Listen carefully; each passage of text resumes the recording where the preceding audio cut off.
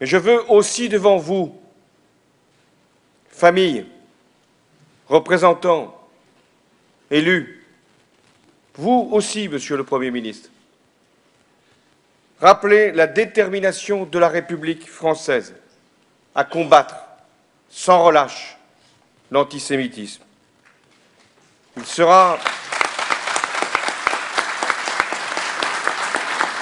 Il sera pourfendu dans toutes ces manifestations, les actes, mais aussi les mots.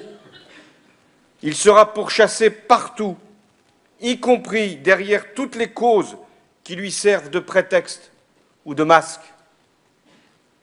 L'antisémitisme sera poursuivi par tous les moyens, partout où il se diffuse, en particulier sur les réseaux sociaux qui accordent l'anonymat à la haine. Les Juifs de France doivent savoir que la République met tout en œuvre pour les protéger. La garantie de leur sécurité est une cause nationale. Elle n'est pas l'affaire des Juifs, mais celle de tous les Français.